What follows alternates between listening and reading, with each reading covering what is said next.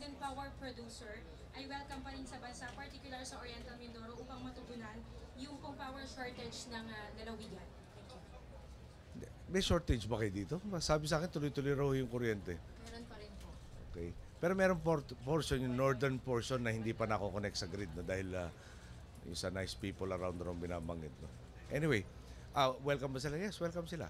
Yung um, sa, hopefully by the end of this year, no, yung towards the latter part of the year, yung ating parang yung tinatawag na open access, yung meron ng wholesale market ng kuryente, inaitayo na at talagang yung Luzon open access na. Okay. May open access.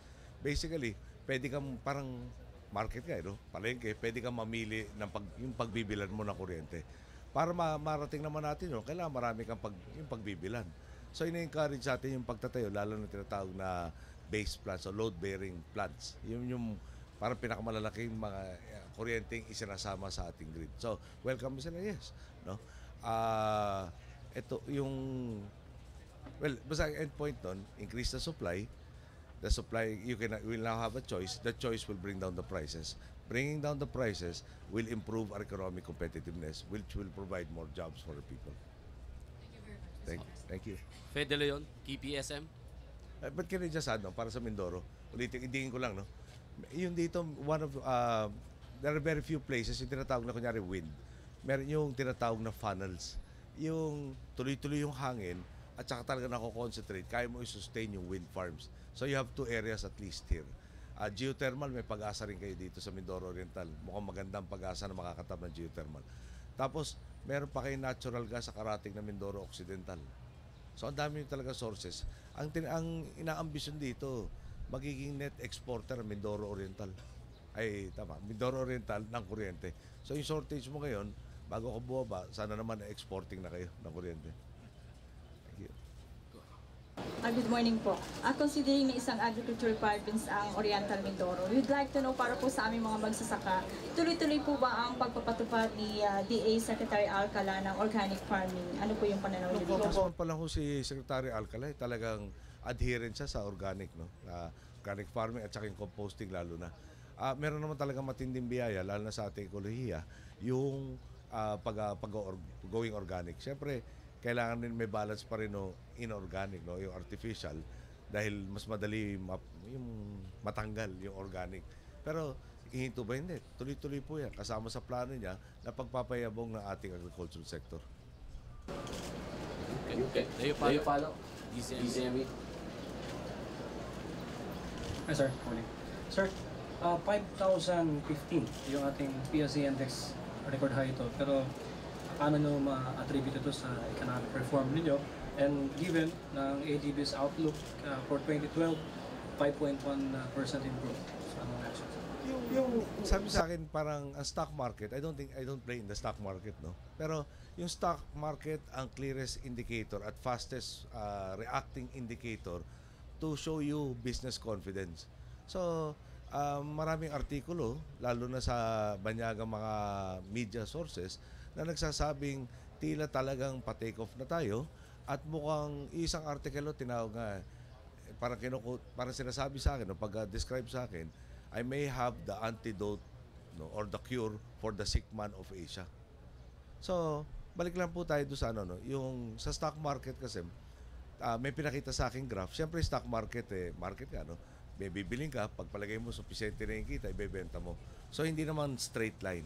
So, bago tayo naupo, yung may 4,000 na index, hindi hindi maabot-abot. Okay? Nalampasan yun. Nanatili na tayo lampas ng 4,000. At sa totoo lang, last year pa nila pinapangako na aabot ng 5,000. Pero nangyari sa Middle East, nangyari sa Europa, yung sa Europa hindi pa solved hanggang ngayon.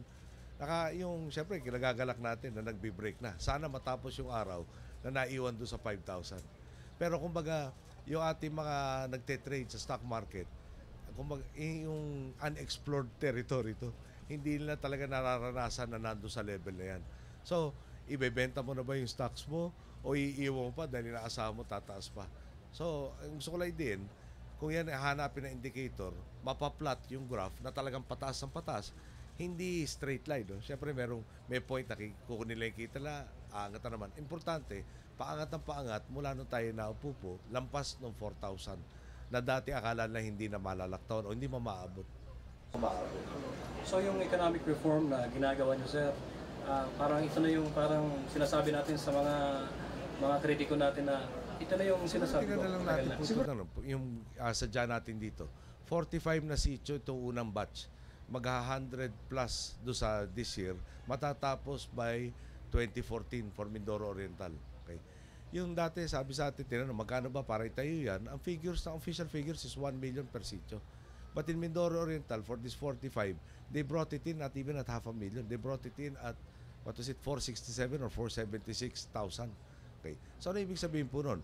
Yung kung sobra-sobra yung dati sinisingil, yun po yung corruption, ibinulsa, itinago, itinago kung saan, paano naman nakatulong sa ekonomiya yon? Dito po, yung ginastos mo yung tama lang, may natira kang mas malaking bahagi pa na pwedeng magpamadali para mapakuryente mo na yung ibang lugar. Pag nadagdag na yung kuryente dyan, so ang dami mo ng posibilidad. Pwede ka na maging tourism site. Pwede ka na magkaroon ng processing site ng yung agriculture and aquaculture produce of Mindoro Oriental. Yung learning learning time and abilities of your school children will be enhanced because they will have more time to study, especially homework. Yung and you can go on and on, know. Yung yung abilities that will be uh, made available. Kunyari health. Ah, dito po, may mga liblib na lugar. Paano makakaabot sa doktor? A part of the DOH program is using cell phones to help in diagnosing and bringing the specialist to the most remotest area in the country. So, bottom line, ah, Leo, sana bumiyahe ka ng ano, papuntang Baguio at makikita mo mula Tarlac. No, ako po yung na-traffic nung makita yung Baguio last ng yung two and, a, two, two and a half hour trip naging four and a half hours dahil marami ho talagang construction. Kasama na po yung bayan nung dating head ng League of Municipalities of the Philippines sa kamag-anak ni Ginang Arroyo. Malaki rin po yung ginagawang karsada doon.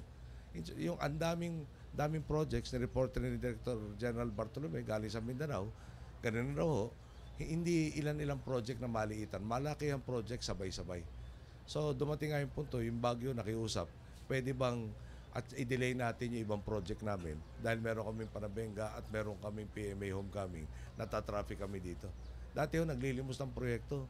Ngayon ho, tumatanggi na kung pwede i-delay. So, in short, uh, lahat itong infrastructure will provide more access to various markets. And the businessmen see that. Yung things that were in the potential, we intend to di ba, to, to really demonstrate as an actuality. Siguro, sorry, tinanong mo, kaya masasamantalahin ko na to, no? Tingnan na lang niyo yung nagtatalo sa North Luzon, South Luzon Expressway Connector. Dati mag- makikiusap ka kung anong terms sila, papayag ka. Ngayon, nag-aagawan. Kung sino ang bibigyan ng pahintulot na gawin to. Oh, mga negosyante po yan na naniniwala, maganda ang kinabukasan natin, mababawi nila yung puhunan nila na hindi barya pag tinayo yung medyo mahaba-habang connector na yan. Thank you. Norman? Norman. Sir, good morning.